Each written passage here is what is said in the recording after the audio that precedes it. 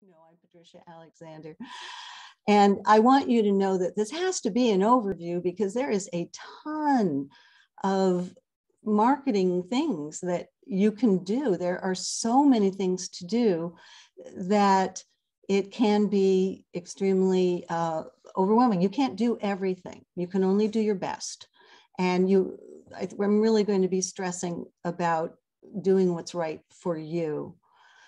So I very, very much hope that you are taking, you will, are prepared to take notes, whether you're typing or writing on a pad, doesn't matter. I, this, I have prepared a, a, a very simple PowerPoint with any of the links, uh, titles of books, recommended websites, because the education that you need to have for marketing is not something that I can give you in two hours. But what I can do is lead you to the right resources and give you the concepts of uh, where what you need to do.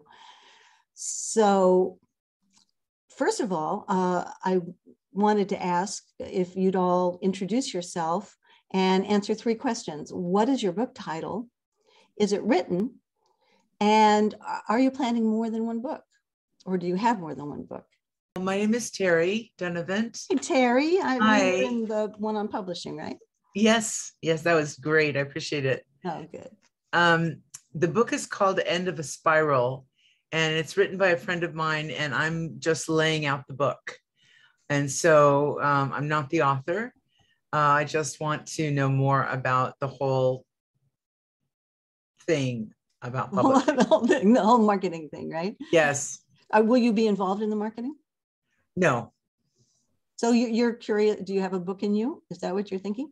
You know, I used to want to be a writer, but um, I'm fairly slow writer. And um, and so it's not really uh, I, I write as part of my job and I want to be the best writer I can be, but it's um, uh, mostly I'm interested here to just know more about how to um, you know, like the last webinar was about how, you know, how to publish it. And this one to me just goes along with it with the marketing. Uh, it's more, I just want to be able to help him get his book out there. Well, I'm still hearing a book in you. And you know, it's your own self judgment that is saying you're slow and therefore it's not going to work. Because if you consider, um, you, you don't know how long pretty much any book, how, how long it took an author to write any book. If the book is, if you have something to say and something to give the world, no one cares how long it takes. So I, I just would like to encourage you not to rule that out. I don't think you'd be here if that was completely out of the question. Thank you, Patricia. Someone else, jump in. Come on, be brave. Hi, Patricia and other writers.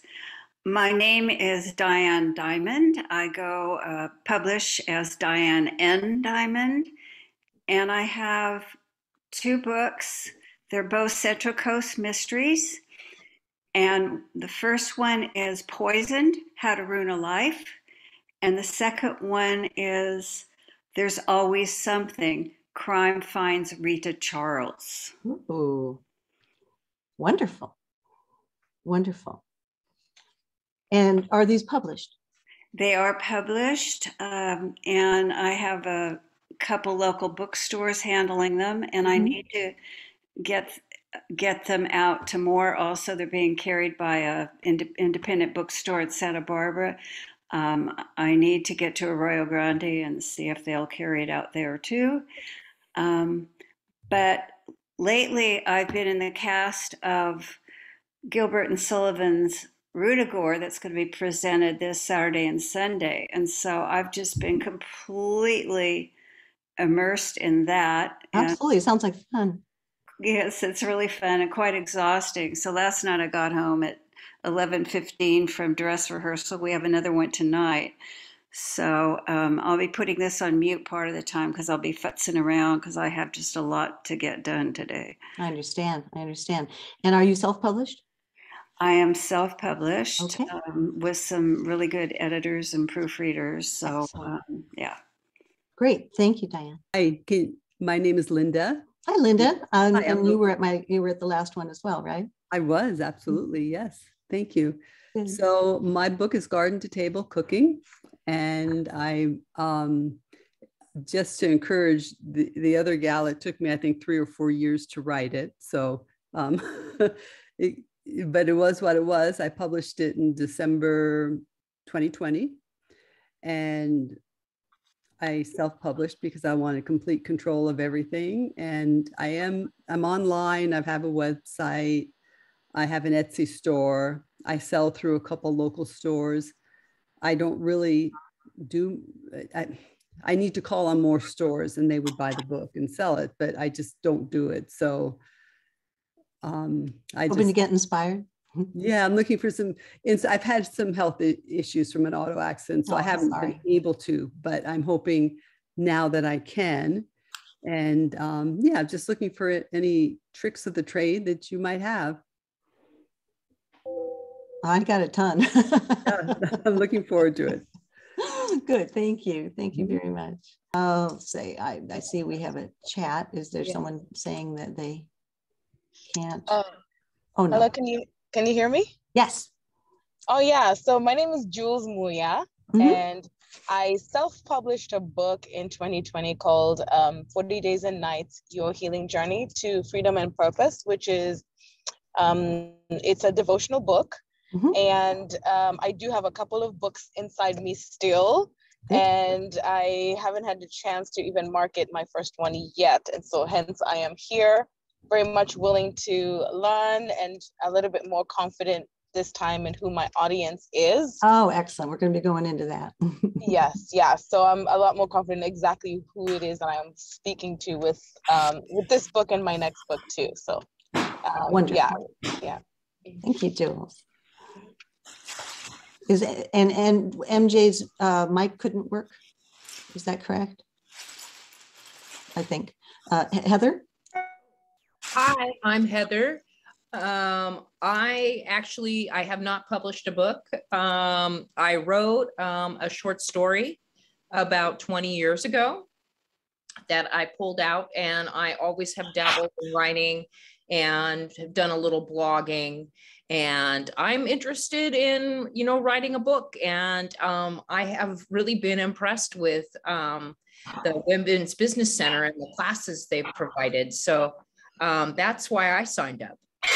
Wonderful. Well, if you can uh, catch the vi- my video, the my previous two uh, webinars, the one on writing and, and one on publishing, because this might really overwhelm you to jump right into concepts of marketing, but good for you because part of the trick is starting as early as possible to understand Thank you. these concepts. So I salute you. Thank you. as you probably know by now, even traditional publishers don't do much to help market a book. So marketing is very, very much up to the author, unless you're on the Stephen King level, which I which I don't think any of us are. So what's the point of writing a book if if no one can find it and no one reads it? I mean, really, what's the point?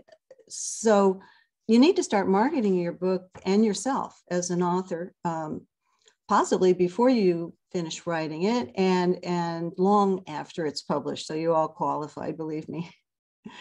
So let's see how we can really get you excited about about this marketing journey that you're about to go on. So the first question is really what what does marketing mean to you? Because it's so common to have a fear of marketing there's a discomfort with it because people associate it with negative things like bragging, um, over self promotion, sales, being pushy, whatever your resistance, any resistance that you have about this, and the fact that it is, it is definitely a big, overwhelming topic.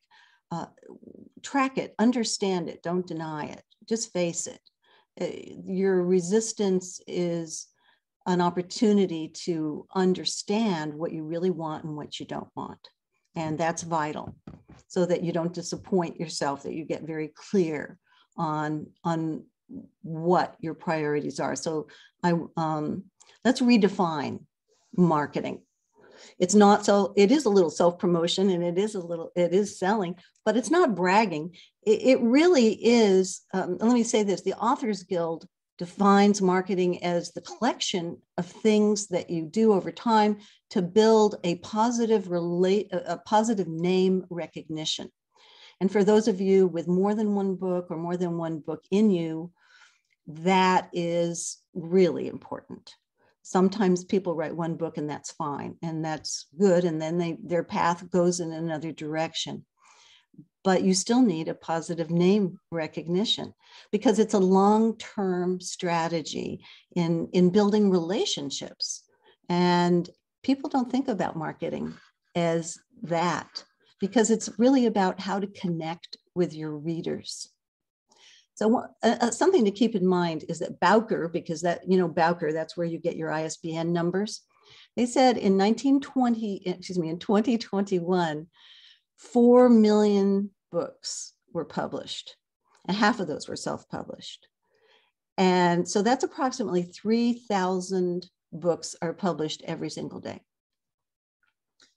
So it, it makes a lot of sense that you ask yourself, did you do a good job writing the book? Will you do a good job if you haven't written it yet? Are you, is your book delivering value? Aren't you helping people when you help them discover your book? Of course you are. So you have to, um, maybe, I mean, it's possible for some people that writing the book was enough and the marketing just isn't going to work for you. That's okay. But the first thing you want to do is have clarity about what are your goals for your book. So think about that. You don't have to, well, you know, maybe we should do a round. Let's let's go around. What is your goal for your book? Heather, what uh, what do you see in the for the for yourself in the future? What would you like your books a book you write to do? Oh, I, well, that's a good question because I, will often walk into Barnes and Nobles and think, oh my God, who's going to read all these books? Um, yeah, I guess I would want to have a book that people would want to read and, um, you know, finding that audience. Um, good, good. Yeah. And hopefully it would be a book that they would want to continue to read and it you know wouldn't be some kind of fad book i see so, so an evergreen yes an evergreen that's, that's, called an evergreen right that's what my book is so um, yes it's really good to keep that in mind too as you write it uh-huh anyone um, so anyone else want to just you, you we don't have to go around to everybody you can volunteer what are your goals for your book um, this is linda and you know what when I wrote my book, my goal was simply to document my recipes and help other, especially new gardeners. It's the cookbook I wish I had had when I started gardening. Mm. And I wanted to make it easy for people to cook and eat healthy. You know, easy, easy meals. You can get your food from farmers markets, even the grocery store. But you know, I'm a gardener, and that's how what I figured out. And so it was just to I didn't have any visions of becoming a bestseller. Mm-hmm. I, you know, if I can get people to buy it, not get people, but if if it would bless people here and there and they want it, that's what I wanted to do. Okay. So when you say here and there, it sounds like, and you say you don't need it to be a bestseller, that's mm-hmm. a really wonderful thing to realize mm-hmm. because that then can help put your priorities in order. Mm-hmm. Um, yeah so th- that's that's a wonderful thing because too many people have unrealistic expectations yeah I, I um, didn't have any expectations that anyone would even be interested in it. Aww. so every time i sell one whether it's you know the local stores or amazon it's like oh i don't know who it is that bought that book. In other words it's someone out of my sphere of friendship and family. It's like oh somebody liked it. That's a wonderful feeling. Yeah. That is a wonderful feeling. That i know exactly what you mean. Thank you. Mm-hmm. anyone else? Uh, this is diane diamond. Uh-huh. and one of the reasons i like to write is i tend to be very opinionated and very political, and nobody wants to see me in a soapbox. And so the things that keep me up at night and that I think about all the time, I like to put in the mouth of a character or several characters. Smart. And I like to do that with some humor. And so I'm always hoping when people read it, they'll have the, yeah, aha, uh-huh, yeah, I feel that way too. Or maybe sometimes even angry because, oh, that's that's not good. But also deal with that with uh, some lightness at heart and a plot that keeps you moving and some humor. So that's what I love about reading. And so that's what I hope people get out of reading my novels. What do you, will you get out of your books, out of your having your books out there besides that? Um, I have always needed to somehow get creativity out there. And I think that that that creativity and that spirit, whether it be art or writing or or drama, is really healthy and it's really important. And and so I just want to to be out there sharing that kind of vibe. Wonderful, wonderful. Okay, well, um, I'm going to move on, but please be write down for yourself what your goals are for your book my late husband Michael, his one of his goals for our book was to be on Oprah. And I couldn't convince him that it wasn't any lack on my part in my working the book that was keeping that from happening. that that was an unrealistic expectation, and there were many, many other satisfying things. But um, it, it really helps if if you do uh, have reasonable expectations. And so it, it's important to, to have a reality check. And to have that reality check, I'm going to ask you a really important question. What are the priorities in your life? Living through this weekend's performances. That's one. well, I have a thought of, of, I'm not sure this is exactly what you're looking for, but um, having retired several times and I love, I love to work. And then I was forced to give up my last couple clients when I had an accident, auto accident. Oh, do writing this cookbook has allowed me to be productive, mm. To have the professional side of me come out, the business side. It's it feeds me, and also as a salesperson, I can you know go out and sell my cookbook and get the rewards that that brings. And so it fills a need I have in in my life for working but not really working if that makes sense. Oh goodness it really does. I am in the same boat. I'm semi-retired. Mm-hmm. been on deadline 45 years you know so. Yeah. Like enough. Um, great. That's great because that's what i wanted to say. What about passion growth?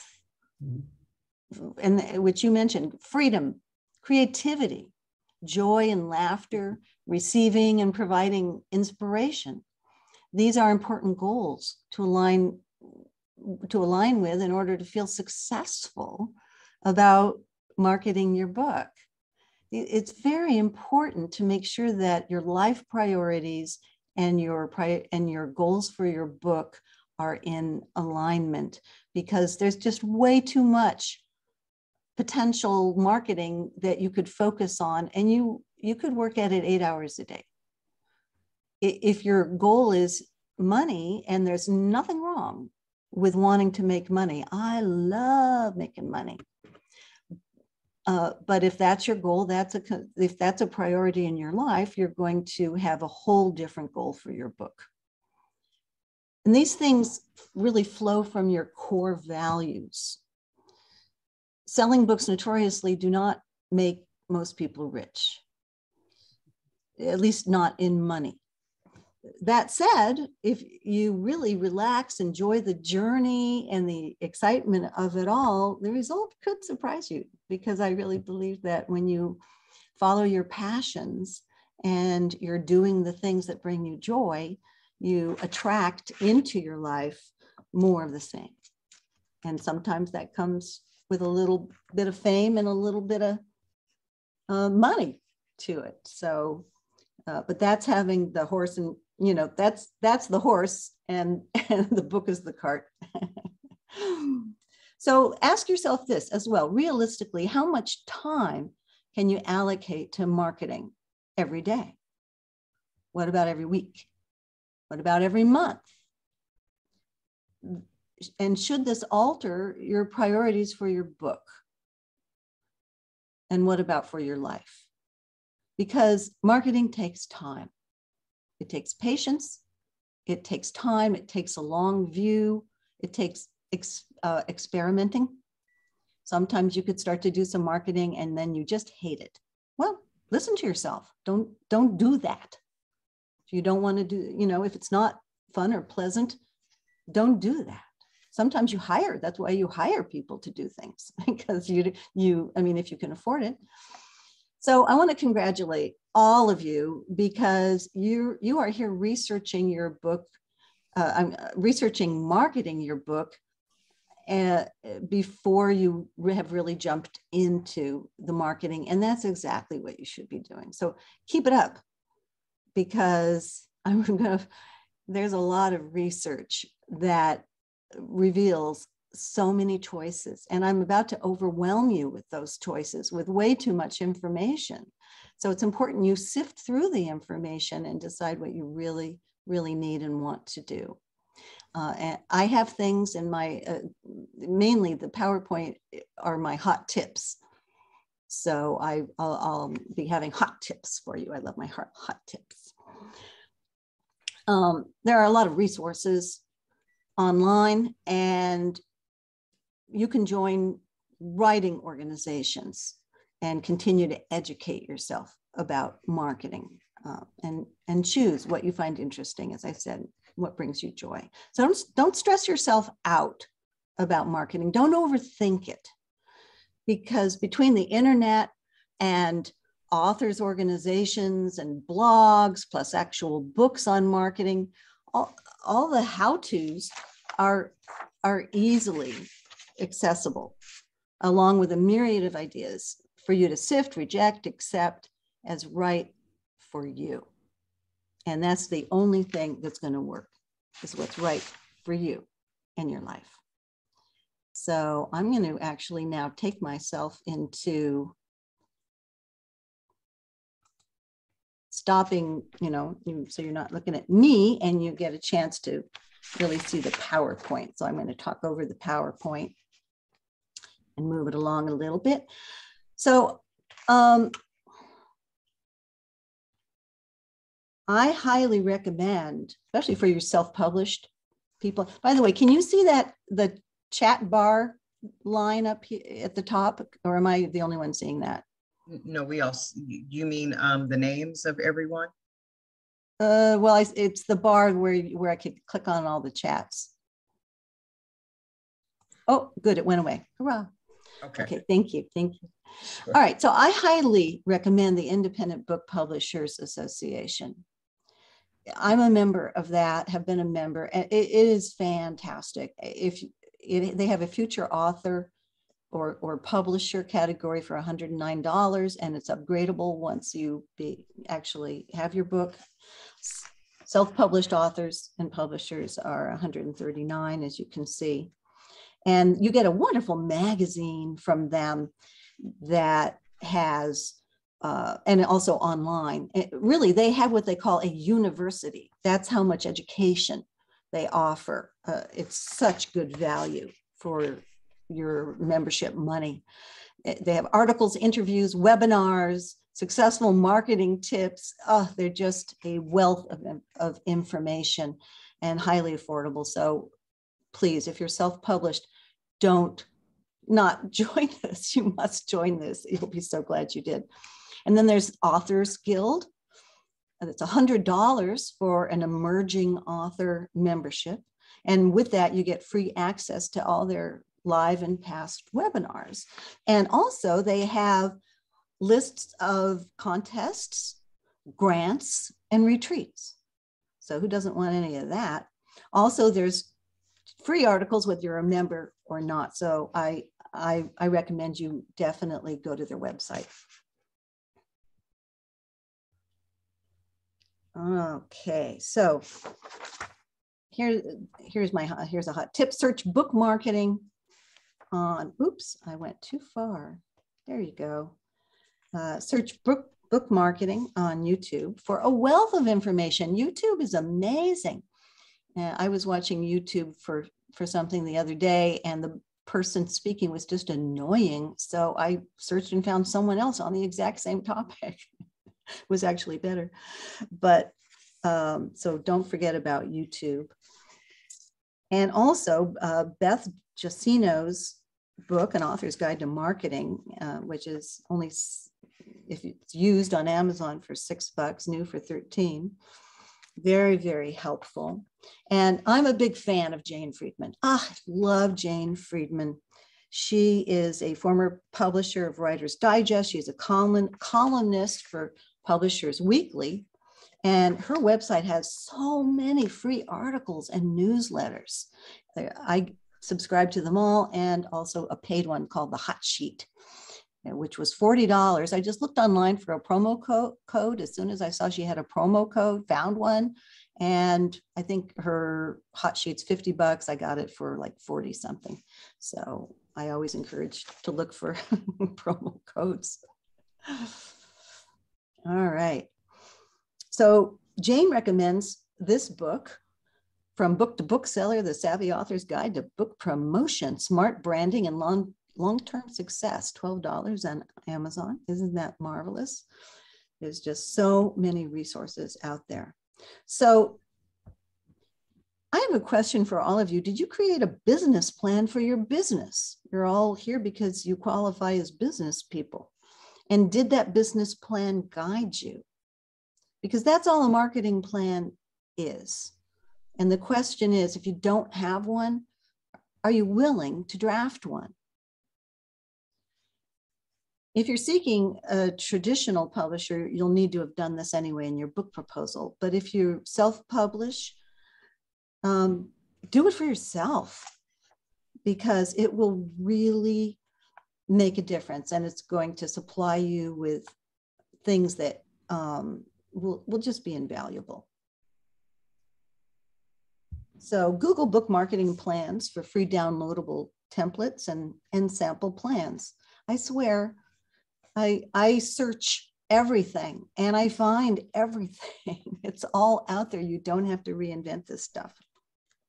So in your plan, you should you'll be asked or you you know as part of the template what is um, what is the purpose of your book and we all and you guys did a great job answering that what your purpose is what's your hook that's a two sentence summary that makes a stranger want to know more also called an elevator pitch if you got into an elevator with uh, someone who could help with the marketing and selling of your book and you had 10 floors to pitch them, what would you say?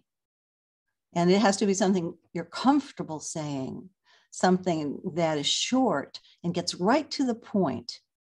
So that's that's a really important thing to practice, to get down and practice. Who's your target readership? This is also vital. Who's your core audience? Um, someone was saying that they now know who their core audience is. I think that was Diane. And, and that is so helpful to know that. Once you know that, then you can really zero in on reaching them because you can't reach everybody. So reach the people who are going to be the people who will most likely want to read your book. So, what are they looking for? What do they do in their leisure time? Where are they? What's their age? What's their race? What's their gender? What's their financial level? You really want to think about this. It will, it'll make a huge difference. When I was marketing, more actively marketing the Book of Comforts, I learned that seniors were great buyers for gift giving, but often had reached a level of lifestyle where they really felt like they didn't need comfort as much. Uh, I found good buyers in doctors' waiting rooms because that's where people are nervous and seeking comfort. And I found, much to my surprise, because the Book of Comforts was did not aim at this audience, that people dealing with grief were a core audience for me. And that's because um, when they were ready to get back to life, the Book of Comforts helped them to move on. What a gift that was for me to realize that. And I, I really couldn't anticipate that. So sometimes your core audience reveals itself. So ask yourself, what are you good at? Beth Jusino uh, on Authors Guild advises take an honest inventory of your strengths and your abilities. Make sure you know your own likes, dislikes, interests, and how they align with your core audience. So for me, that's personal growth and mind, body, spirit for my book. So that's the example. But marketing works best when you combine your talents with the places where your audience will be. Isn't that an interesting thought? Where you will be, they will be, or where or where the you know all, all aligning with your book. So, what circ- ask yourself this: What circumstances make your targets more receptive to your book?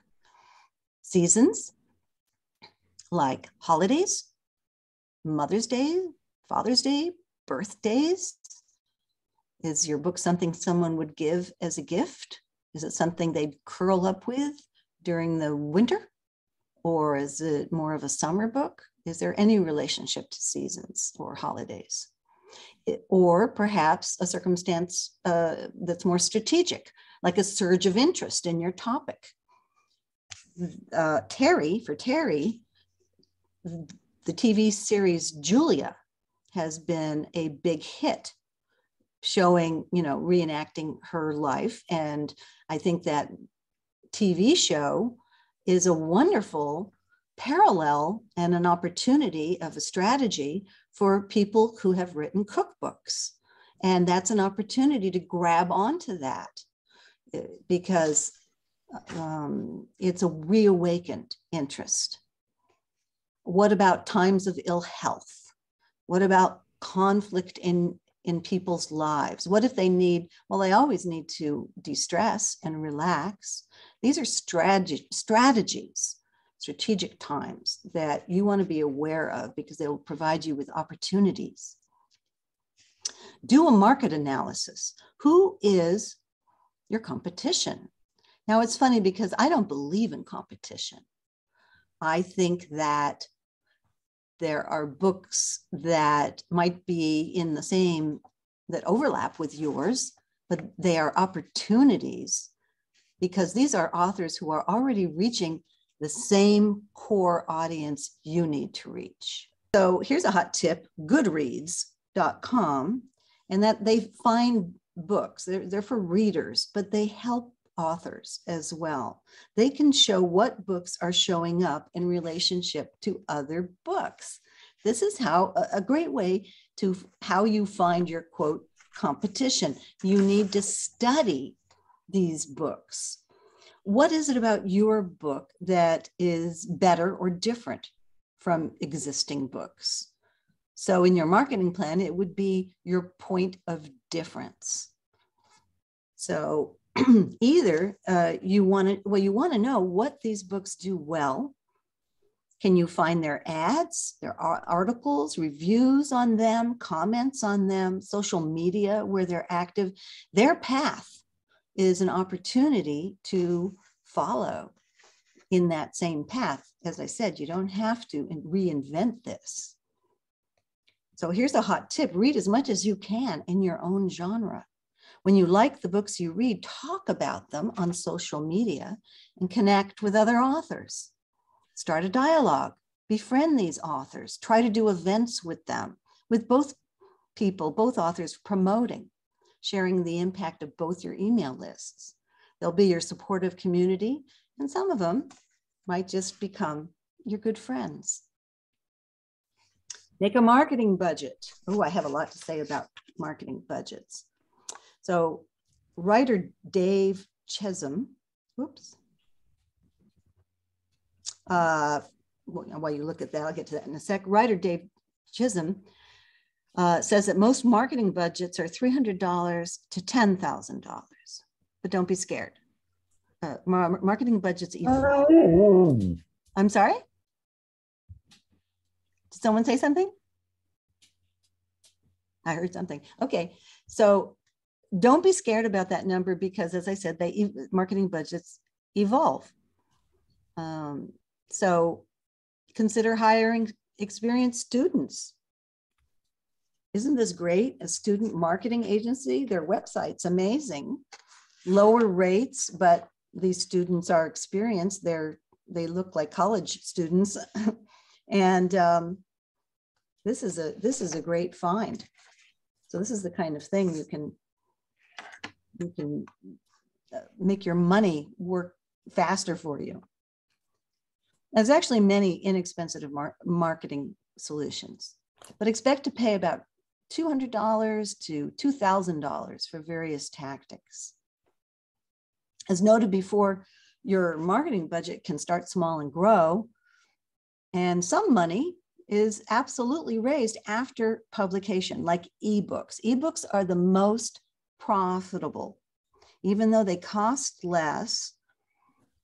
If uh, for those of you who took my publishing workshop, you know that ebooks, uh, the the the services that publish your ebooks, they actually are not publishers; they're services, and they don't care if your if your ebook is on other services.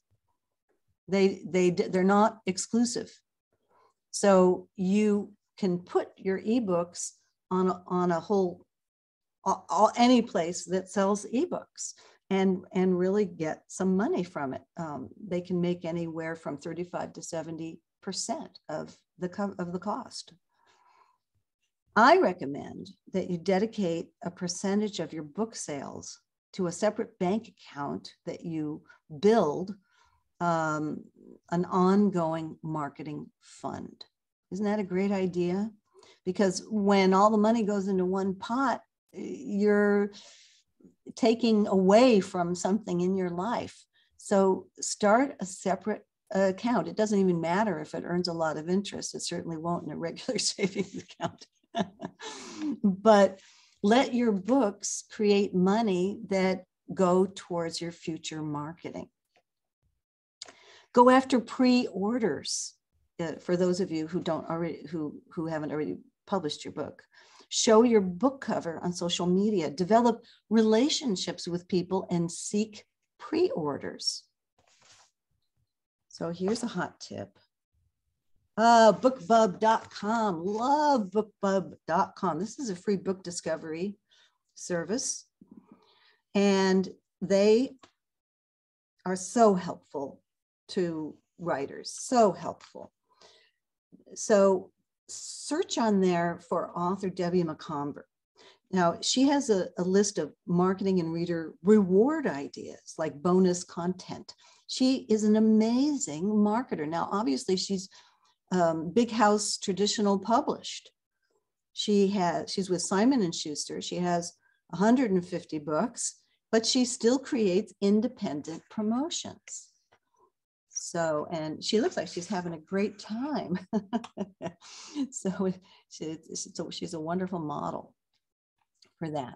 Consider Kickstart sites and Kickstarter campaigns because um, you can do a campaign that rewards investors with signed copies, with pre-orders, with a Q&A with the author, with exclusive content.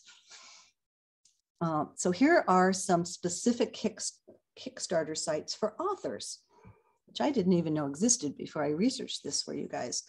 Un, you can see what they are. Unbound is international. Indiegogo creative. And if, when you go to Indiegogo, go to look for the creative works tab and then authors and publishers. Patreon.com. Boy, is that interesting. So that's where you get your core audience, your fans who are already with you.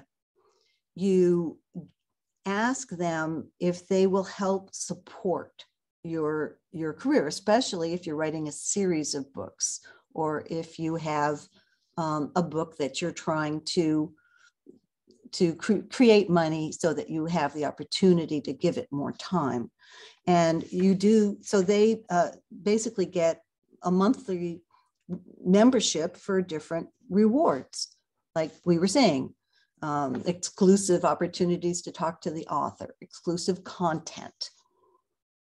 Aren't these wonderful ideas? Somebody say something tell me you like these. I think they're amazing. On patreon one author i saw an author who charged two to ten dollars a month and to and she gave away all this kind of things that we've been talking about.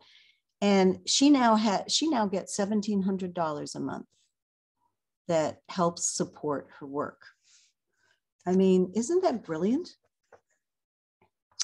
So check out youtube for crowdfunding tips. And also BookBub insights.bookbub.com um, under marketing ideas article. Nine and this is a the great article you nine ways authors can use crowdfunding platforms to reward readers. So it's just it's a beautiful thing. So let me ask you something. Do you guys need tax deductions? Yes you do. I was surprised i did. I i one year I went to my CPA and I said, why, why, why do I have, why am I paying this much tax? And she said, well, you need more business deductions. And I said, oh, okay. And so after that, I was much freer taking ads and doing different marketing plans because it was either going to go to the government or it was going to promote the book. So um, keep that in mind. Marketing is deductible in relationship to your book income. Now, if you don't have any book income, I'd hold off on, on having that be in your uh, tax return, but talk to your CPA about that. And the more your book sales rise, the more all these costs are justified. A hot tip that a couple of you may not be all that thrilled to hear um, new books have a window of opportunity that's about one year to cash in on their debut, longer if you start pre publication. There are just certain things you can only do within the first year of a book being out there. So, um, this is a wonderful article on, well, this came in today because I signed up for BookBub. And so now I get emails from them. And today they sent me an email about this article how 12 authors used new releases for less, which is a category they have to support a book launch. And the new releases for less is amazing because it has, they send weekly emails to, oops, all the, pardon the dash, pardon the US, the US subscribers to the books category of relevant readers beyond an author's existing fan base. They only will do it for four weeks after a book's release day. So I'm very, very sorry. sorry, Diane, but you have more books than you.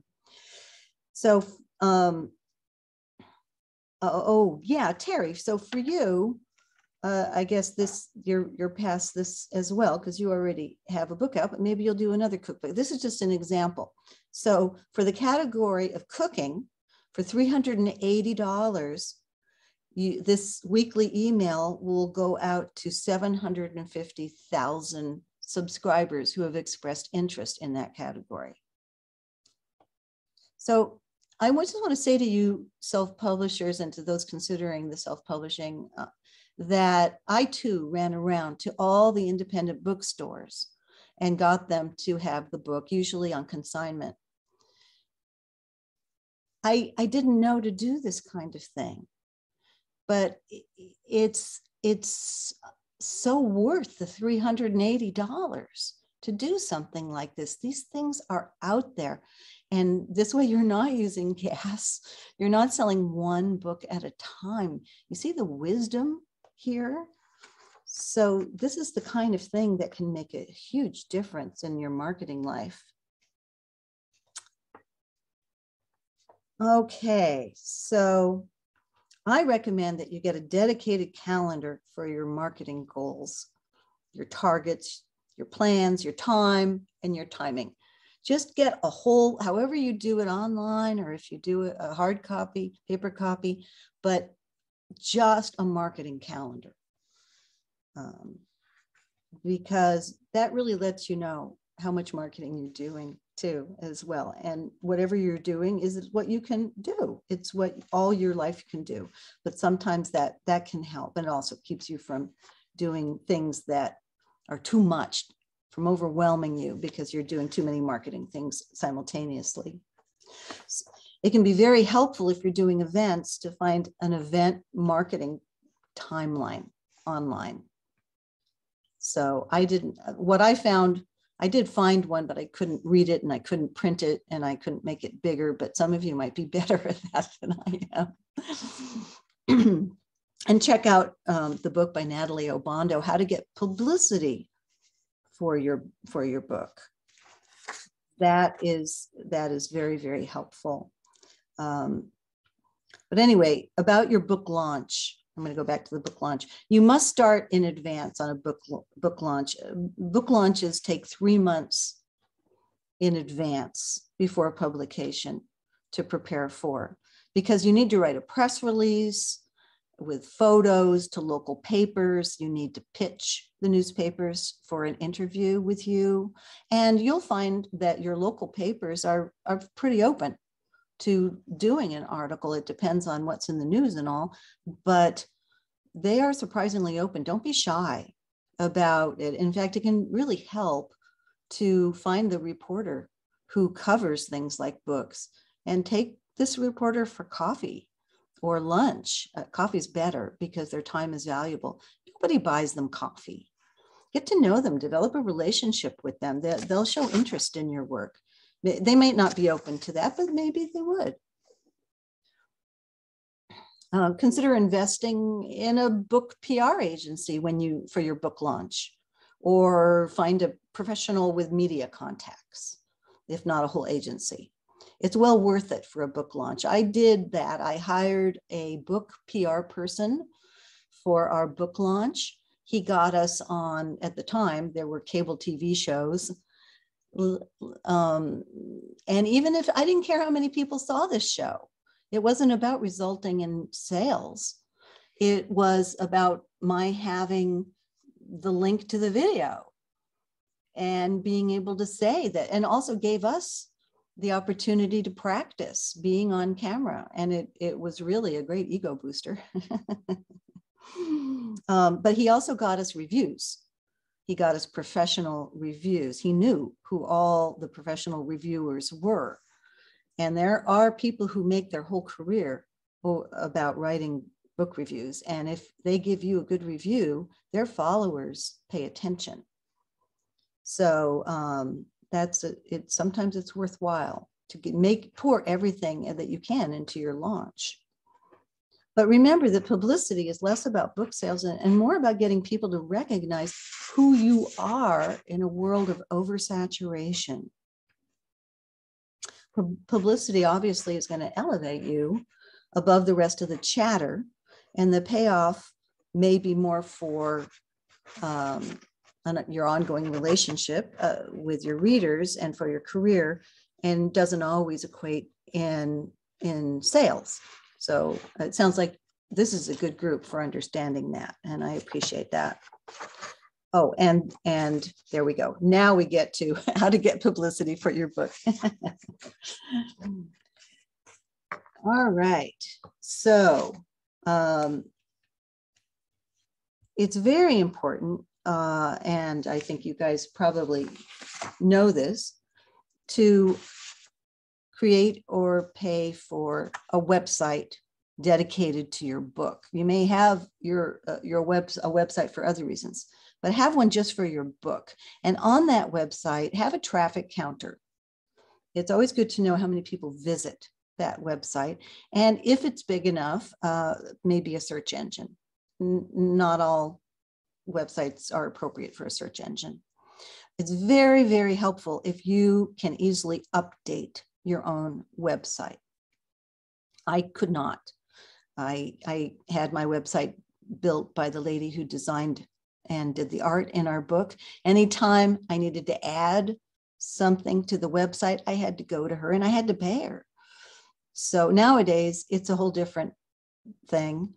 And you can get templates and create a fairly simple website. And your website can be as simple or as elaborate as you want or need. You can always continue to improve it. And it's good to look at other authors' websites and see what you like. But don't even consider not having a website. It can conf- it confirms who you are. I was in a webinar with the IBPA and a an author said that she was attending some kind of writing conference and someone said what's what you know hi i'm so and so you know what do you do you have a book? What's your book? And she said the name of the book. This person on her phone immediately put it into the phone and went to the website and confirmed that you know what this person's book was and uh, who she was and and all of that so it, it can be snap snap just like that so um, how, does anyone not have an author website can or I have, this is Linda. I have a website, but what's frustrating is I built it as a landing page. I paid someone to do it. And now I wish I had more of a, a robust website, but I don't have the money to have it redone. okay and are you do you feel a little hes- hesitant to try to do a template and do it yourself I do.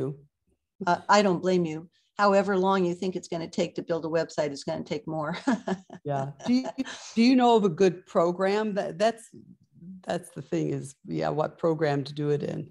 I don't, but it's Google that. Honestly, any any question you have, search it. I, I not everyone uses Google, I know, but whatever your search engine is, Google that. You're going to find a lot of things. And and think about the student thing.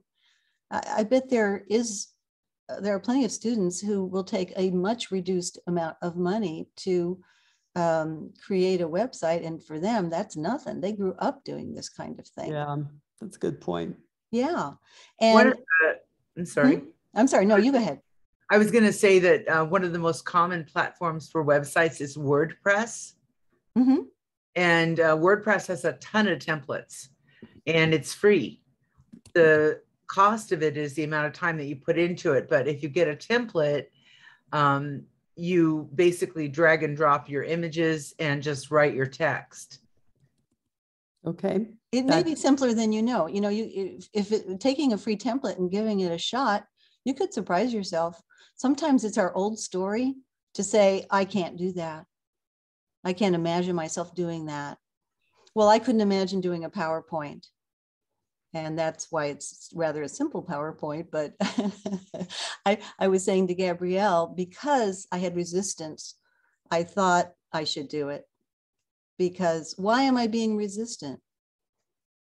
you know and I, I kind of enjoyed doing the powerpoint and it was a whole lot simpler than i thought it would be. So um, be careful about living up to your old story. Sometimes a new story is just waiting. So uh, here's here's a little bit of something to consider and even those those of you with websites you you might not have all all the stuff i'm listing so consider putting these things in of course, all the pertinent marketing links um, to social media, to to you know how to buy the book and all of that. Do you have a look inside your book? Um, possibly your table of contents or a featured chapter, or or or some sample pages, because that people like that. Reader comments, and to start with, this could just be your friends and relatives and anyone you might beta test your book with. Because before you publish your book, you should really beta test it with your core audience. Does anyone have any questions about that, what I just said? No? Okay.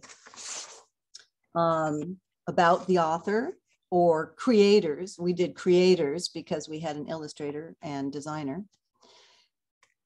Um, and by the way, that should also be with a photo. And, you know, the, the, we can make pretty good looking headshots these days, but make sure it is a professional looking headshot.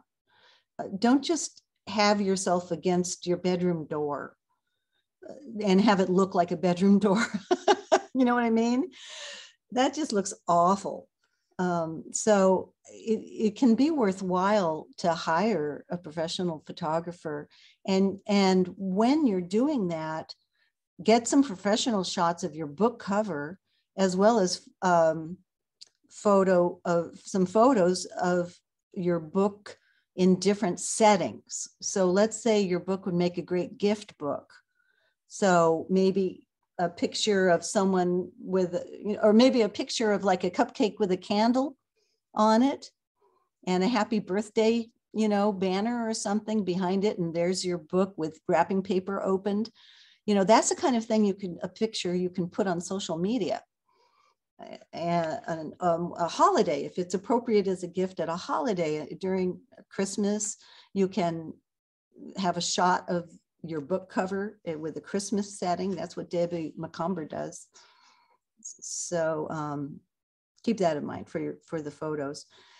Are any of you interested in speaking, giving talks about your book topic? Oh, absolutely. I'm big time on that. Good, good, good. Really, I hope you all are because it's it it really helps. It, it and it's and it's a lot of fun. So how to book you as a speaker should definitely be on your website. You need to write if you haven't already a list of suggested topics. Don't just say here's how you book me as a speaker. Say and here are some of the things i could talk about. And come at your book topic from some unique angles. Uh, and have some, uh, as soon as you can, get some testimonials about you as a speaker and put those in and just keep adding them. That's another, you know, again, so handy if you can do it yourself. Uh, okay, a photo gallery. And I, what we did is that we combined our photo gallery with an event calendar, which we did not have in a calendar shape. We just had a running list of uh, the different book signings, and events that we had for the book, and then scattered photos throughout to make it a lot of fun. So anytime we read an event or a signing, we always took a photo and then added that in. So it was kind of fun for us and fun for people to, to look at. So um, press room, you should have a whole tab or for prep for the press room. And this is any time uh, an article is written about you or perhaps by you. And, and we're going to get into that a little bit more about you writing articles. Uh, and also, uh, obviously, any reviews that you have and um, media comments which is comments from you being on the radio. And by the way, booking you, there's local radio. You guys are in, all in the SLO area. There are radio stations that will interview you. All you have to do is search it out and contact them, send them an email, give them a call, tell them what you have to offer. And that's another good thing that you need to be really clear about what you have to offer. And then there's author endorsements. Author endorsements are uh, going to be so important to you because uh, that's, I, I assume that if you have an author endor- uh, an endorsement from another author, that that's on your back cover. Uh, and so uh, if you don't have your book yet and you then that is something that you want to pursue. And I'm going to have a little more on that. So Michael and I went to, we went to a lot of workshops for personal growth and mind, body, spirit. So we went to a workshop with Angeles Arrien. Has anyone heard of Angeles Arrien? I don't know if she's still with us. um, well, she's just a, was a, a guru, was a guru in the Northern California area, wrote amazing books, Second Half of Life, and uh, she had how-to tapes out about um, getting value from your life. Just so many things. She had a real following. So we gave her the manuscript, and she gave us an amazing endorsement and quote that is on the back cover of our book. And then there's Cheryl Canfield. We I was in the library, uh, library. I was in a bookstore. I was in Barnes and Noble, and I had a friend who was in distress, potentially suicidal, and I was looking at books that might help her. And I came across Cheryl's book, Profound Healing, and she off she she says on in the book cover, you know, that she was available for individual counseling. So I called her up and told her about my friend, and I sponsored my friend to have some sessions with her. And of course, I bought Cheryl's book. Well, Cheryl and, and I and Michael became friends. This is from my pulling her book off of the shelf. And she eventually had us come to Copperopolis, which is where she lived, and held a, uh, a an event for us. So it, it, it's amazing where these paths can lead you. Also, we took a workshop from Alan Cohen, and Alan Cohen gave us a, a wonderful endorsement. Uh, the book had already been published by then, but it's on the website. and then we also had a, a quote on the back. We have a quote on the back of the book from an art critic because our illustrator, artist, designer, Dean, um, was a big part of our book. And so we wanted to, to have her included as well.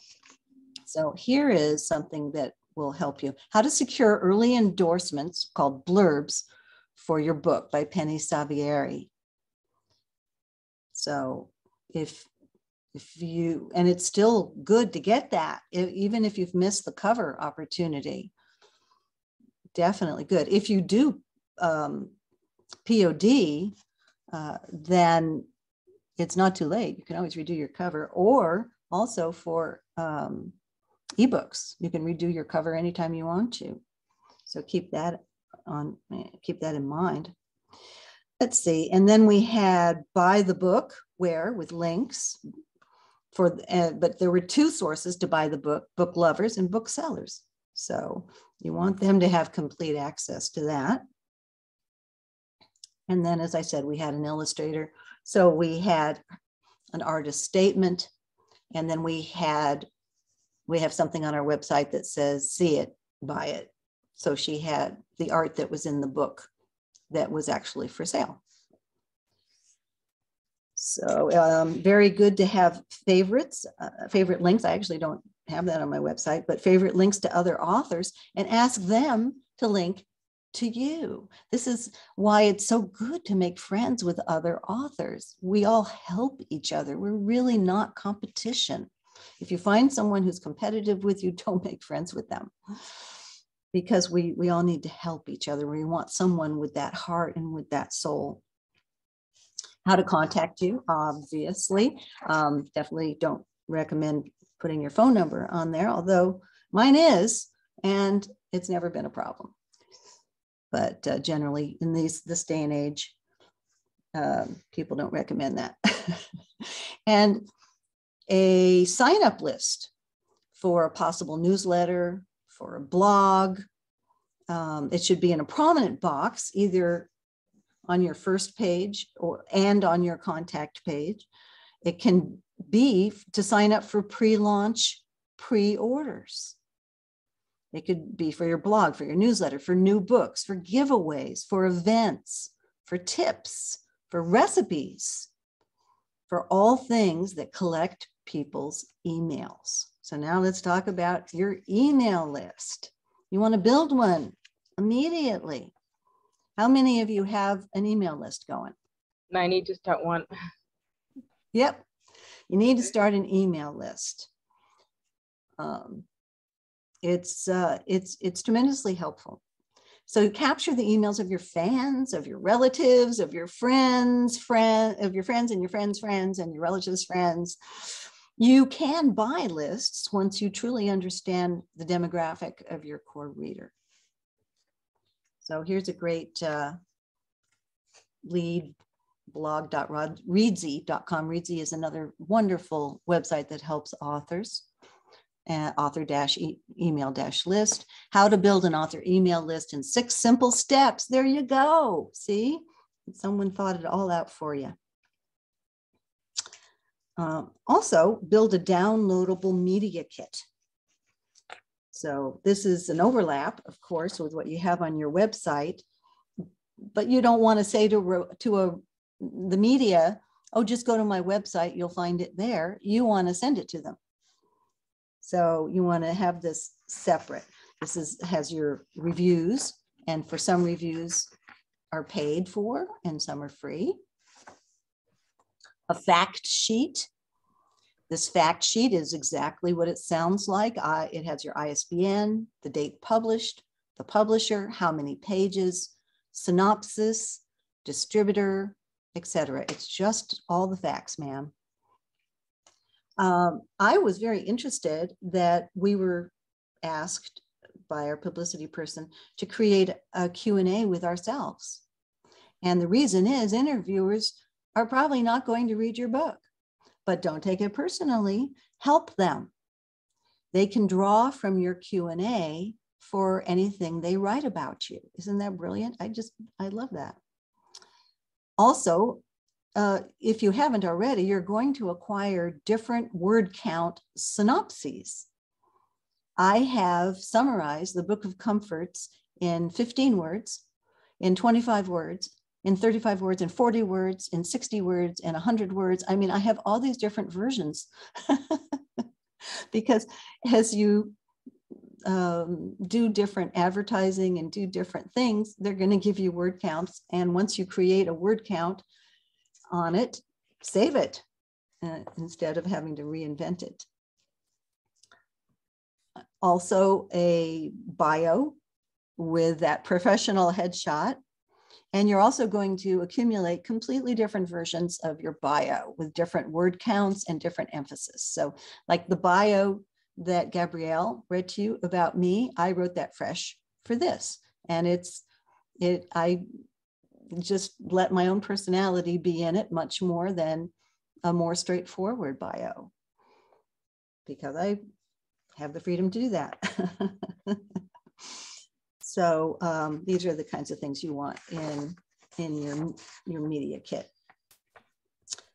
So let's talk about monetizing your website and blog uh, with affiliate program links. Do you guys know what that is? Does anyone know what that is? Like yeah. Amazon affiliate programs? Well, that's one of the places. Oh. Yeah. Does anyone not know what what a affiliate link is? Okay, so I'm I'm assuming I know one lady's um, microphone is broken and I, I don't want to make assumptions. So it's really just where you get a small percentage of the sale if somebody buys it through you, clicks through you. And it's good manners to identify that, to say, you know, I get a small um, bit of money if you if you click on this and buy through me. So this guy, whoops, Raph, Raphael Reiser com, he, he has a free article on monetizing your website and blog and the eight best affiliate programs for writers in 2022. Isn't that great? I just love it. All this stuff is out there. So blogs and newsletters, only spend time on these if, if you can and you want to.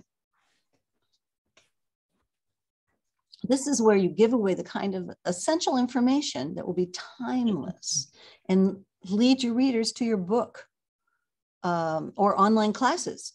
You might, that's another way to monetize this whole experience is to offer online classes, uh, even when it's in your archives.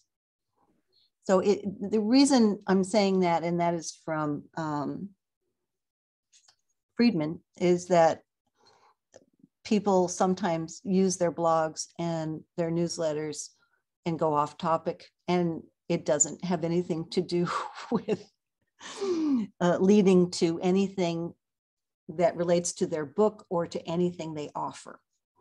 So that is what social media is for. if you want to have conversations about things, do it there, but not in the blogs and newsletters because it's an online content strategy. You create interesting articles, columns, and have guest interviewers. You don't have to do it all. They get shared and discovered through search engines.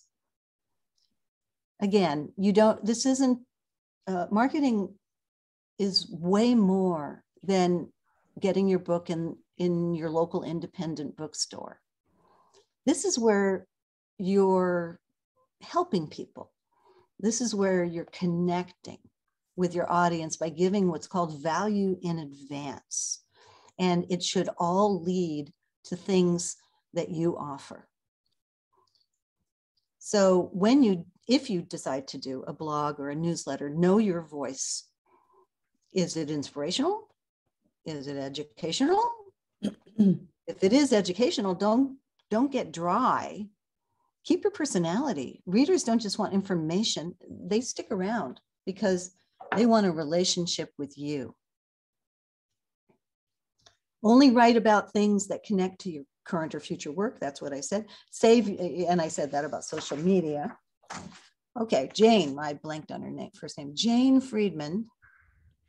Search on her website.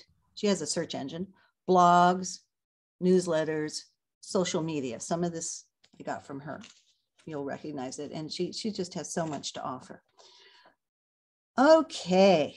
Um, social media. Who who who's using who's on social media? Who's using it? Anyone? Not me. I gave myself permission not to. Absolutely. And that is your right. And I have something for you coming up. So um, you don't generally make money on social media platforms selling books but it can grow your email list. Um, oh, so here we go. Um, wait a minute. Which social, there we go. Which social, this is from, uh, oh, social media is another thing to search on Jane's website. Which social media platform is best? By Carolyn Topperman. And I'm going to give you a little summary of that, but that, that is definitely an excellent article. So she says, are, are you all good with my moving on? Yes. Okay. Yeah. So she says any social media can be good to grow your email list and possibly to sell books, especially seasonally or strategically. Um, Facebook and Pinterest are good to promote your blog or articles.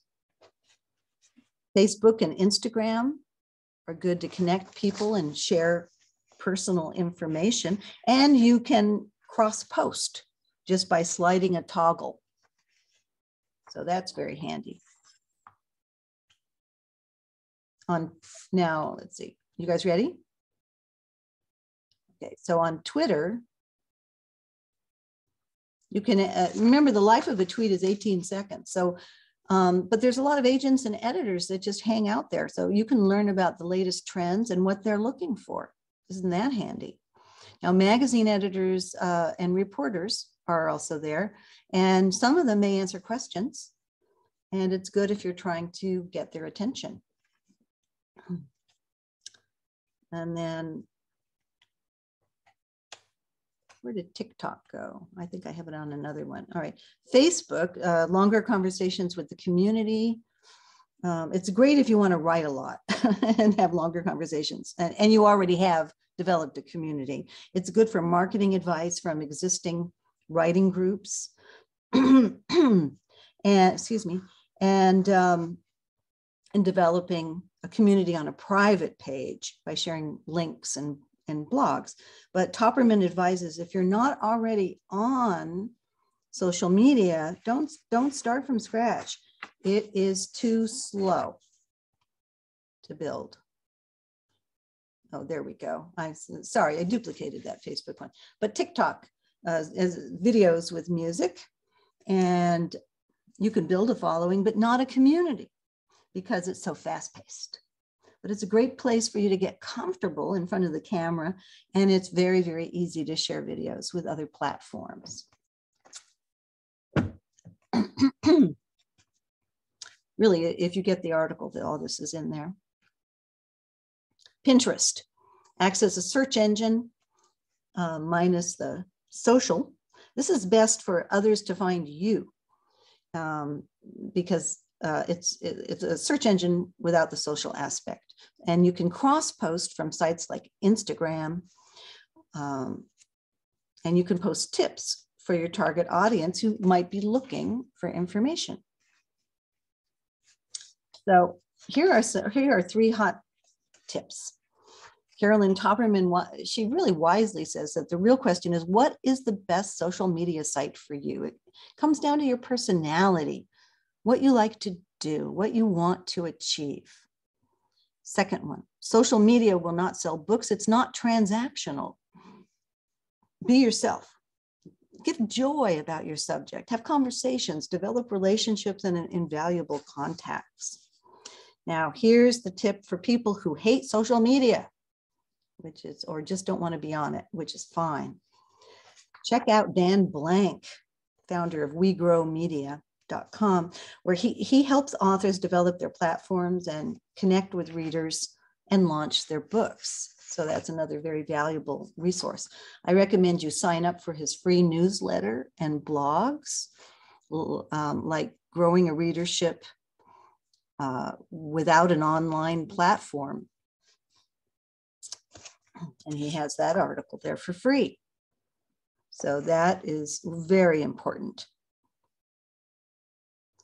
And then briefly, I want to talk a little bit to you guys about merchandise. So besides having a business card with the picture of your book and a picture of you on it, and that's a must, um, and maybe pens or something like that. Bookmarks are the most common merchandise for marketing.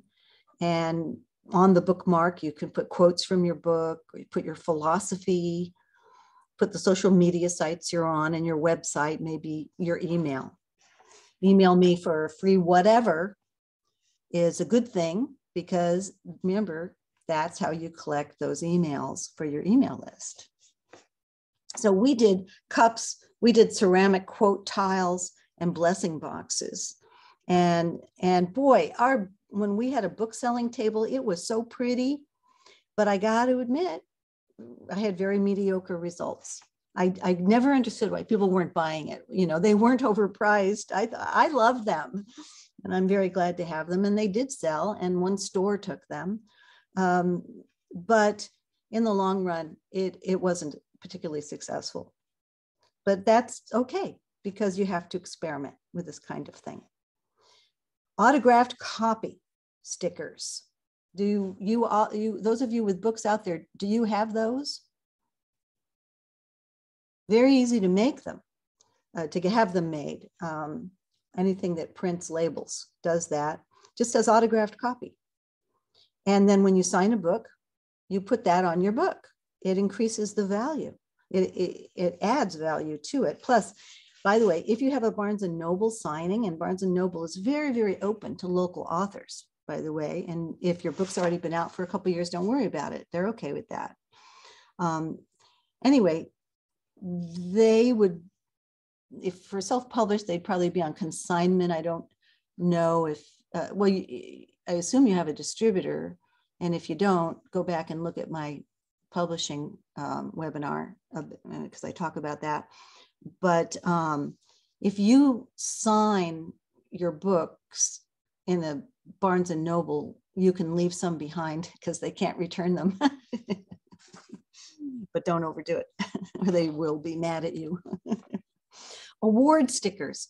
It, it, I hope you guys are submitting for different book contests because it's um, it's a great idea to do that. It's very meaningful to a prospective buyer that your book has won an award, and it feels great to win one. The contest will usually sell you stickers to put on your book, gold if you win, silver if you are runner up, because you buy those stickers from them and it helps promote them. And uh, it just works both ways. And readers don't care uh, what, where you, what the award is, if the sticker looks impressive. So here, oops, there we go. I'm sorry, I should have gone to that. Reedsy.com, search for reputable book contest list. Some have fees, some don't. Okay, so the IBPA annually the Benjamin Franklin Award. It's got a lot of categories. You do pay to enter. It is so worth it. It's a big darn deal. And we won a silver um, finalist winner. We're the silver finalist winner, winner under self help for best spiritual book. Look at that sticker on my cover. Isn't that impressive? That's Ben Franklin. And we actually flew to New York for the award just because we could. and we found it so exciting. And we thought we'd win. We really did. but we didn't get the gold sticker, but we got the silver sticker. And so I'm very proud of that. There is no book, I have no book that goes out without one of those stickers. And now I'm always referred to uh, as in writing as an award-winning author. It, it is it is tremendously meaningful. Isn't that pretty? That is beautiful. but, but, I need a little validation there. also, Patricia, there was a comment in the comment section from oh, thank you. Uh, Terry. Mm-hmm. She said Sticker Mule has frequent sales of 50 stickers for $19. Oh, I think you can get them cheaper. Uh-oh. Yeah, um, I, I'm sorry, I can't remember the name of, uh, it's like the most prominent place to get um, return address stickers. And, and uh, I got it, I got a better deal than that. Yeah, I'm sorry, I can't remember what it was specifically, but anyway, anyway, buy book. All right wait, wait, sorry, another comment. You can get them cheaper, but you have to buy hundreds, is what Terry says. Oh, well, I don't, okay. I, I, I'm so sorry. I can't remember the name of the place I get it from. I, maybe I wanted a hundred. I don't know. but um, would it's could be well worthwhile to have a hundred um, signed uh, you know, author autographed stickers because, you know, you build it, they will come. So I love putting those stickers on my book. And that's something also to think about if you haven't written your book yet, to design your cover to accommodate space for those stickers, which my book luckily did because we didn't know that. okay, so um, oh, say, so I had that out of order. Okay, so advertising. We're going to talk about advertising. Um, so you guys might know this, you might not. In 2021, Apple updated their privacy protections to now hide your IP address so senders can't link it to your other online activity or, or determine your location. And that completely upended Facebook advertising by about $10 billion. Google followed suit in February of this year. So that reduces reliance on Facebook ads for authors, making it even more about relationships. So um, I, let's talk about Amazon. And it, and it doesn't mean there isn't something to explore there on Facebook. There's still Facebook uh, ads, um, but I frankly didn't get into it. So I'm sure you could find more information on that. So, you know, don't assume you know anything, just search it out. And all of these great websites I'm giving you will have something on there. All right, Amazon was really a search engine um, and there's all kinds of complicated things to read about how to make it more successful at finding your book, like algorithms, how the cost per click CPC ads work. And thank goodness there are free webinars, boot camps, and books on it because it is very complicated.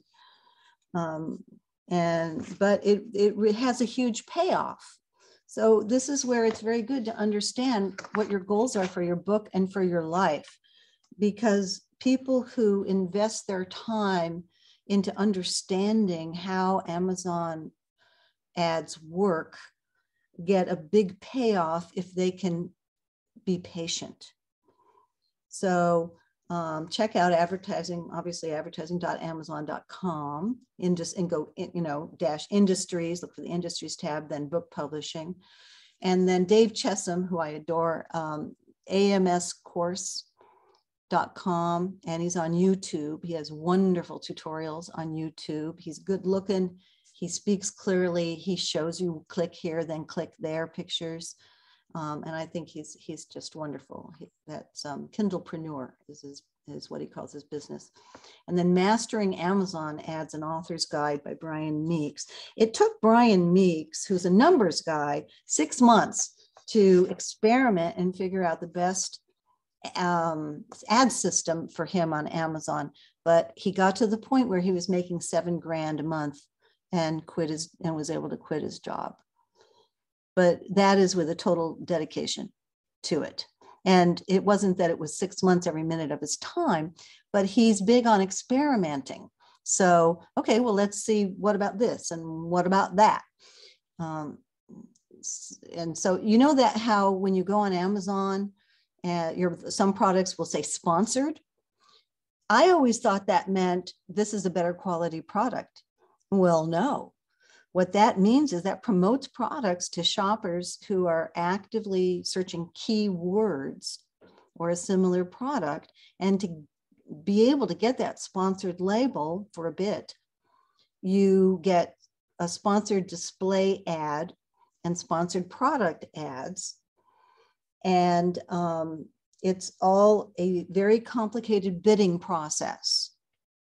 And there's an algorithm involved uh, so it's about what category you pick. Maybe you pick, you know, I'm willing to pay, my budget is, uh, they, they, they call these things a campaign. So you say, start this campaign for this ad on this month, on this date, maybe no end date, maybe an end date. Um, and I'm, I'm willing to pay a maximum of uh, 17 cents a click, but don't go beyond 100 bucks. And it's not the highest bid that wins. It's not, it's not how that works. It's about um, Amazon analyzing in the category that you've chosen what is your chance of success? How good is your book cover? How good is, are, is your um, website, your marketing, all the stuff that you do, uh, and your reviews and the stuff that all your support circumstances what are the odds that you are going to have good sales as and therefore they'll make more money? So sometimes a smaller bid 10 cents a click 15 cents a click that's what um, um, brian meeks at, was experimenting with. And that's so it's very worthwhile if you want to get into this to read his book and then there's also something called lock screen ads, and that's based on shoppers' interests. And that's when a reader unlocks their Kindle e-reader or their Fire tablet to read or shop. And I was a little confused about what applies only to ebooks and what applies to uh, printed books. But the whole thing is, is quite a huge topic. But if you are a numbers person and this feels interesting to you, it will pay off to check out all the tutorials and to try to understand it. Does anyone here already understand it? Quiet. There's absolute silence, roaring silence. Okay. but um, my hot tip is that all ads success are linked to what keywords you pick. Your website is linked to what keywords you pick. So at any rate, that's always very, very important. Um, and, and phrases. Okay, where am I? All right, on ads, you can also advertise with your distributor. Um, when I do that with New Leaf, which is a self-help distributor, and, uh, and, and I'm with them on, um, they don't buy the books out, I'm on consignment but they take a box of my books and then I get paid as they sell. And I take an ad with them at all. I always see it bump sales. And then some of these organ- writers organizations I've been telling you about, they have cooperative ads. And so I just bought a quarter page ad with the IBPA for their fall catalog. So as a member price, I saved $200. I paid 250. It would have been um, 450. And for that, I get, they design the ad, I approve. I get digital distribution with Ingram's top 3,500 book retail accounts. I get IBPA's house list of 200, more than 250 independent bookstores. And isn't that better than just racing to a, Arroyo Grande, right? I get um, the American Booksellers Association, the ABA, in September, we'll get a physical mailing of the catalog to 750 of their most active indie stores. So isn't that a great deal for 250 bucks? So that's that's uh, and it might cost you that in gas these days to get to Arroyo Grande from SLO. Uh, it could happen. so advertise um, online or or in mailed magazines of the special interests of your core readers. That's one of the reasons that the boons of understanding who your core reader is. So um, we'll go back to you, Terry. Cookbooks. Well, there are cooking magazines. You could take an ad in the cooking magazine to advertise your cookbook. You could pitch the magazine for you to write an article, or maybe they would like an excerpt from your cookbook because your book qualifies you as an expert in your field. So you go after that second party endorsement of being seen as an expert. It feels good. It you're helping people and you are helping people find your book. And by all means, if you do have an ad any place, please do approach them um, about an article or an excerpt because they often want to stroke their advertisers. That just happens. Um, it also adds credibility to your reputation. It helps people. It adds to your media kit and your website, and it just plain makes you proud. So an article can be offered as a guest blog and that leads people to you, supports other writers' blogs, and it can become a talk. And it goes into your media kit and on your and on your website. Now, here's a little hot tip from me: photocopy and or scan and scan your article without a date, so it doesn't age. Because no matter how good your article is, if it, you know, if it's evergreen, and uh, it might not be, but if it is, then don't let the date appear. No one's ever asked me about that, my articles. so blogs, how about blogs, vlogs, and podcasts? So as an expert, offer to be a guest writer on others' blogs, as I said before, and they're a guest speaker on their vlogs and podcasts. And then you link their stuff to your website and they link your stuff to their website. It's a wonderful scratch your back strategy. So the author speaker, selling books in the back of the room. Speeches are articles, articles are speeches. Both promote, create contacts, and lead to paid gigs. Yeah, oh, actually, I'm sorry, I jumped ahead there. Uh, but if you're shy about speaking or if you're rusty, get yourself to a Toastmasters group. You have three of them in San Luis Obispo. So just go to toastmasters.com. Anyone here a Toastmaster? No, it's it's so worthwhile. Mm. It's so it's very inexpensive. Um, let me jump ahead to in my Hi, notes. This, this is Linda, and I'm not currently a Toastmaster, but when I began my career, I went, and it was life changing life changing. Yes, it is. So what they do in Toastmasters, and it's it's it's um, and I think the whole thing is sixty dollars to start, and then forty five biannually, if I remember correctly. And oh yeah, here I have it. That's exactly right. And um, so you get a handbook. There are ten themed talks. Uh, that everybody gives over a period of time. And the, when I'm saying theme, I mean inspirational, educational, read from something, have no notes at all, use props, you know, that's the theme. But what you talk about is your choice. So it's a great place to go and develop talks on your book and your book content. Um, and we had a chiropractor in ours and it was great because he he was really he always talked about chiropractic but it was they were always different talks and they were fascinating. He was practicing with us and everybody gets up there and does it. So everyone's at the same amount of risk and also you learn how to comment on people. I think one of the the best comments i ever got uh, and you win ribbons and these ribbons mean nothing but there's so, but you want them. And so it, you get uh, uh, ribbons for best uh, best commenter. And you get a chance to and a, and a ribbon for best talk. And it's just so much fun to accumulate these ribbons. And um, um, it, every meeting's different.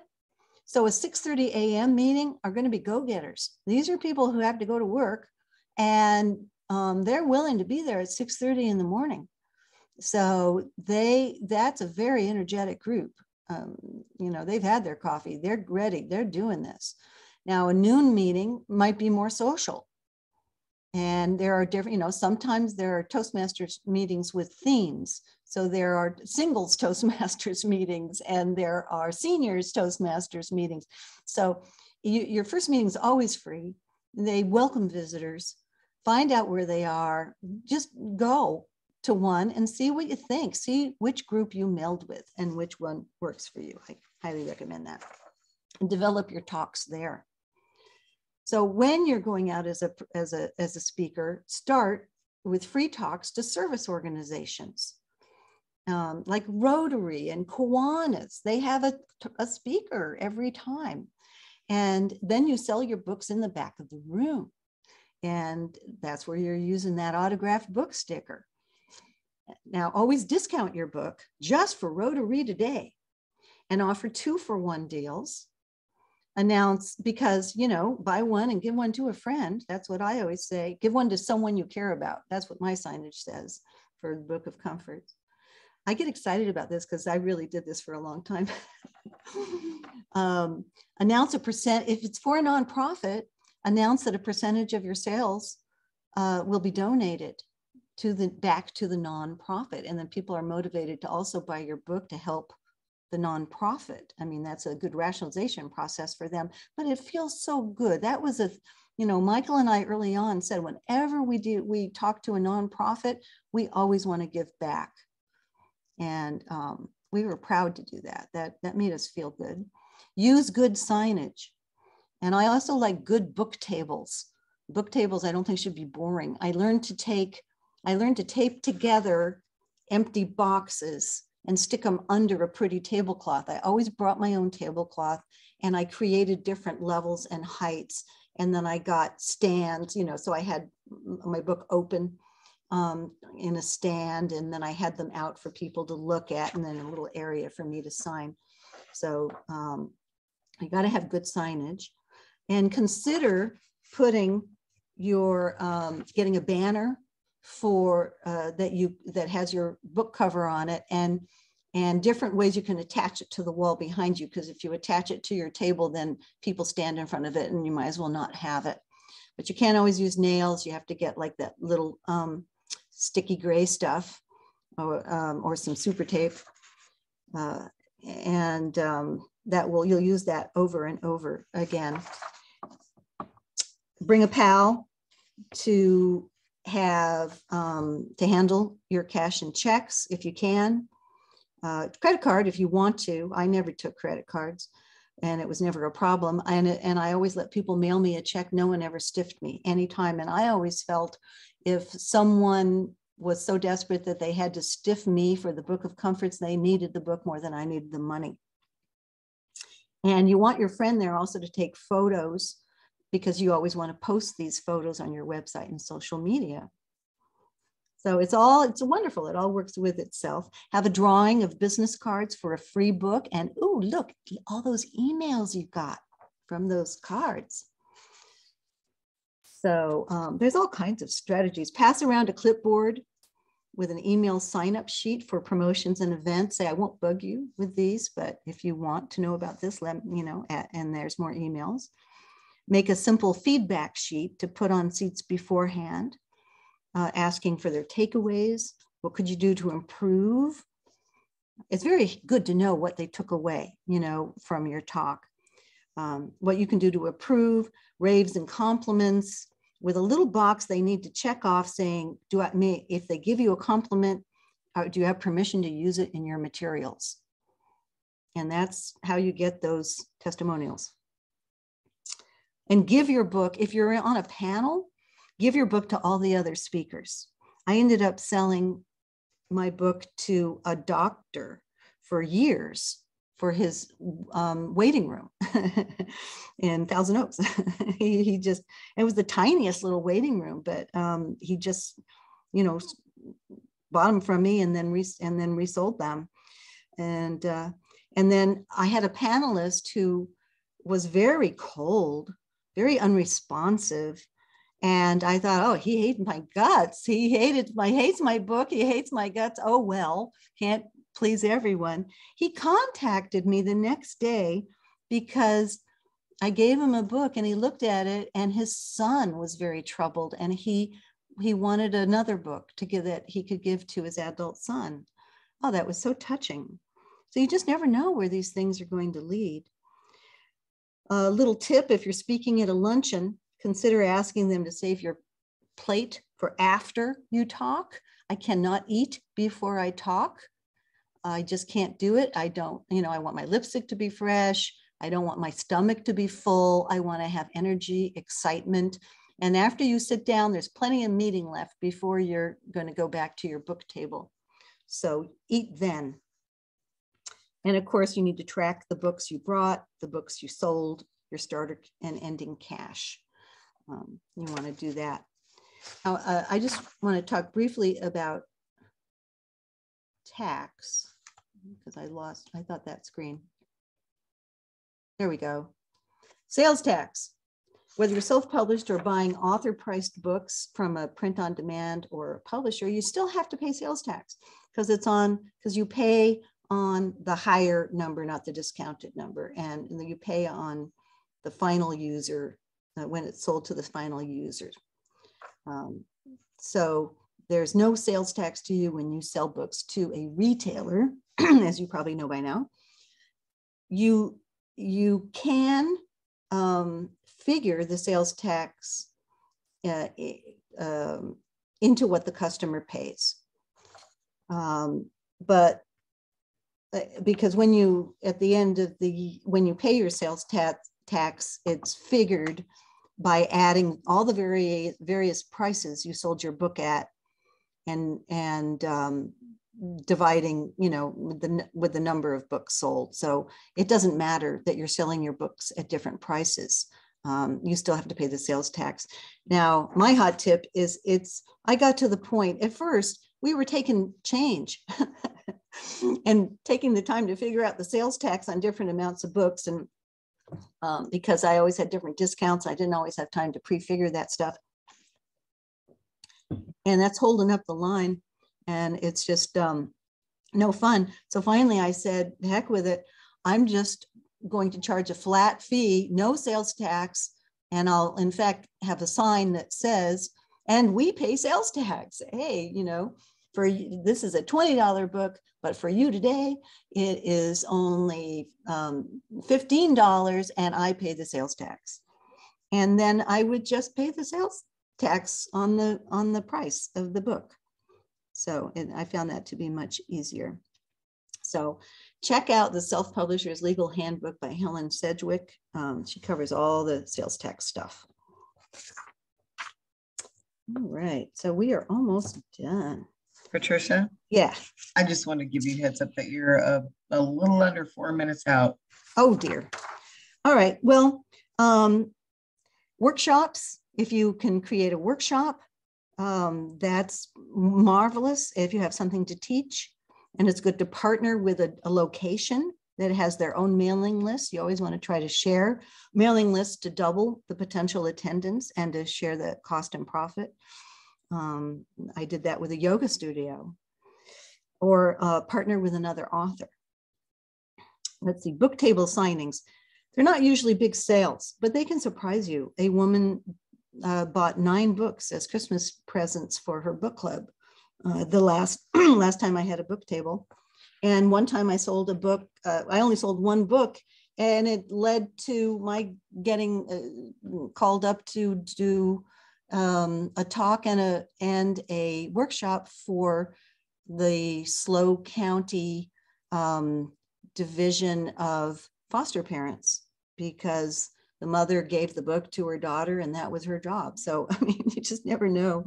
So, always try to do any book table signings with another author. It makes it a lot more fun. Check with your, lot, your local library, often has that.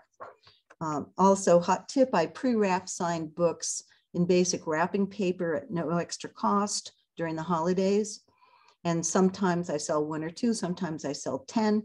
One man, because men are like, wait a minute, this is something my wife is going to like, and, and it's all ready to give her.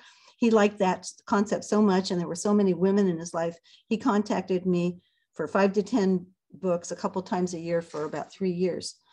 And I wrapped those books, and I was like, sure. so, um, whew, all right. So, are you overwhelmed? you guys? Uh, I am. this, this is, as you said, as I said before, this, this can be really overwhelming, but be patient. Nobody learns it all overnight. Just remember that the, the key is to find what works for your goals, for your budget, for your time, for your heart and soul, and what makes you feel good. And most of all, for your, your life core values and your priorities and enjoy yourself. Enjoy yourself.